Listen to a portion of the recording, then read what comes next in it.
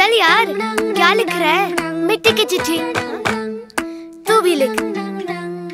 रूखी है, सूखी है, हद से ज़्यादा दुखी है। कुछ भी ना कहती, सब कुछ ये सहती है। पूछा क्या तूने, कभी मिट्टी